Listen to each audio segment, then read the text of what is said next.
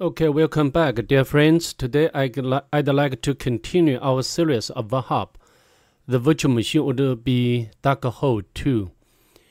I will add the link into the description section below so that you can download this virtual machine. Before we begin today's video, if you don't mind, please subscribe to my channel. I do appreciate your help and support.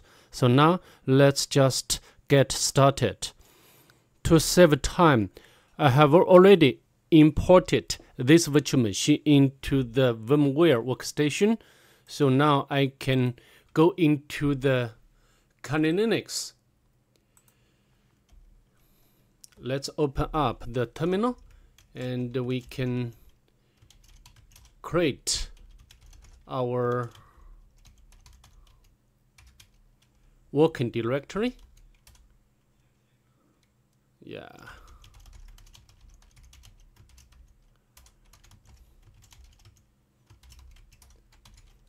And uh, make to discover the IP address of the virtual machine. Yeah, we have already identified the IP address of the virtual machine. Then we can uh, do the map scanning.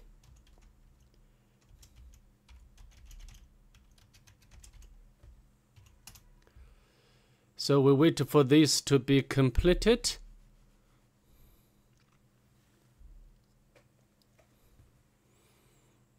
I think it will not take a long time. Okay, so far we have already know the there are two open ports from the Nmap scanning results. The first one is 22, which runs SSH service and also the actual version information.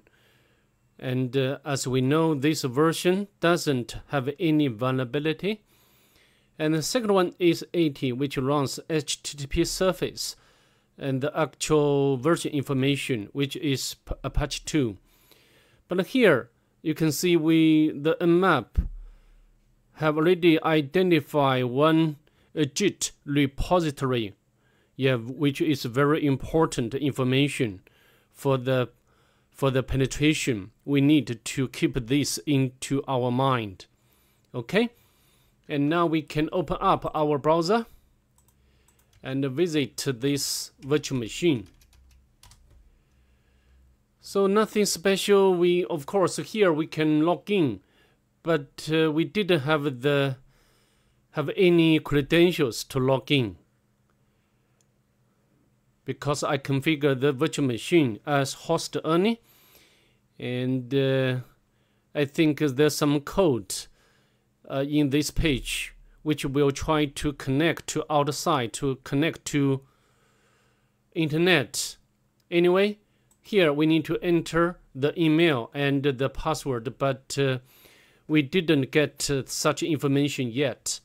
So what can we do? We can do the directory enumeration. For example, like use the GoBuster and specify the IP address of the virtual machine. And then let's auto-complete this command. But I can tell you, we can mm, we cannot find any more useful information. We have, for example, although the the GoBuster identified the dashboard uh, .php, but uh, this is uh, require authentication. And uh, login .php, we have we have already know that.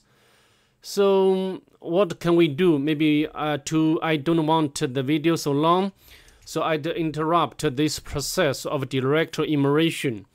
So do you remember we have already identified the the Git repository, maybe we can use the Git dumper uh, tool to to enumerate some information from the repository. Okay, and um, maybe we can open up a new tab and go to my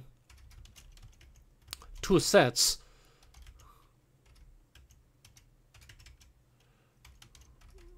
Okay, and uh, let's run uh, this Python script and we need to specify the URL and uh, this should in, should include the the Git repository path and also the the directory uh, to store to save the data from the repository okay? Uh, let's hit enter. Yeah we have already fetched content from the repository of the virtual machine. And let's yeah we go to the backup. And uh, we can git log. Yeah i think uh, the second commit added the login uh, .php you know with the default credentials. So we need to to know whether we can find out uh, there is such information in other version we can use the git diff command and uh, put the ID. And the git diff will try to to get the to get to know whether there is any difference between versions. Okay, let's hit enter. Yeah, from here we can know the password and the email. We can we can make a copy and uh, make a copy into our notepad. And the password is very simple 321 now we have already uh, got the the credential information then we can use such information to log in without any problem right?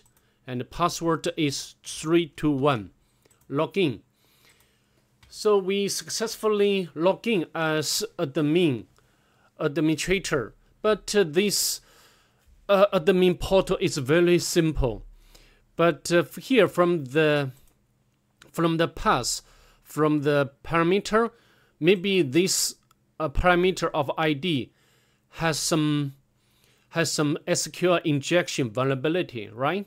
So we can make a copy, but we need to get the cookie information and go to the network and uh, let's refresh uh, this page. Now we can get the get the cookie information and then we can use the skill SQL map and specify the the URL okay and uh, we of course we need to put the cookie information. But this time the cookie should be different. You know we can make a copy right? And then we can paste in here right? And uh, let's dump. Okay we successfully got uh, some information from the database uh, like uh, email address, password, and username, contact number. But here we got another user and password. So maybe this would be the username to log in via SSH. Jihad. Let's hit enter. The password is full. Yeah, we successfully log in uh, to the virtual machine via SSH and uh, of course we can do like a sudo but nothing useful here. And also we can use the find command to find whether there is any commands has SUID bit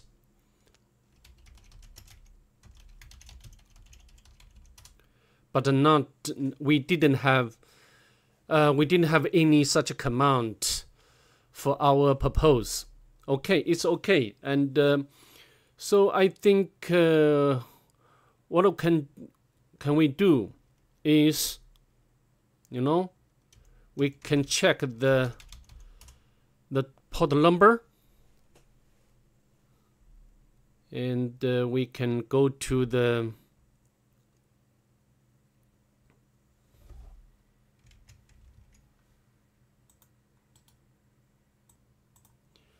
Okay, also we can check the whether there is any cron job running on the background. Yeah, here, as you can see, the, this user, Lucy, will run the, this uh, command. So we can go to the this directory and um, so maybe uh, so maybe we can use the SSL tunnel to tunnel the traffic uh, between this local port number 999 and the Kali right? And uh, we can open up another tab. Go to our working direct directory. We can set up the local number, which is also 9999, and the destination. Destination, because the, this should be only accessed locally, so the destination IP address is local IP address on the virtual machine. Let's hit enter. Now we can access uh, this not uh, local IP address. Yeah, but we need to pass the parameter CMD and uh, CMD. Yeah, we can run the command. So now we have already got the, as you can see, the ID is Lucy. So I think uh, by running the command, we can get the the privilege of user Lucy. But uh, after all, we need to get the shell. But how to do it? We need to get the reversed shell and I have already op opened up the cheat sheet. We can use this one. And uh, we need to make some modification. Need to change to IP address of the Kali Linux. I need to confirm. I cannot remember my Kali Linux IP address all the time. And the port number, I can put the 666. It's okay. But we need to do the URL encoding and uh, go back to our subchef and uh, URL encode. But we need to encode all special characters. And we can make a copy and uh, go back to our browser. And then of course we need to set up the listener first we can set up the listener this time the port number is 666 and uh, now let's hit enter. Yeah, we got the reverse shell from the from the virtual machine, and the the username the user is Lucy, and we can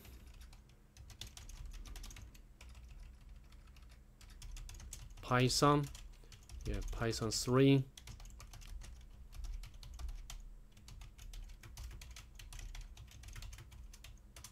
Okay, and we can check this the Lucy. Yeah, maybe we need to get the Lucy password first. And here we can go to the home directory. We go to the Lucy and we got the bash history but uh, here no.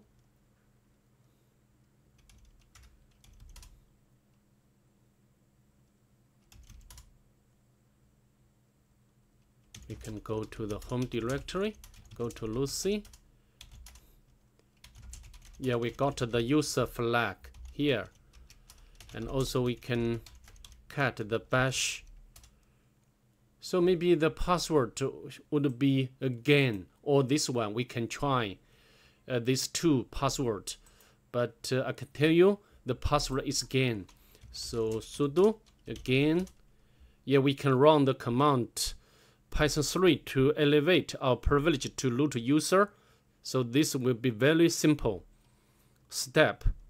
We can sudo python 3 import os os system.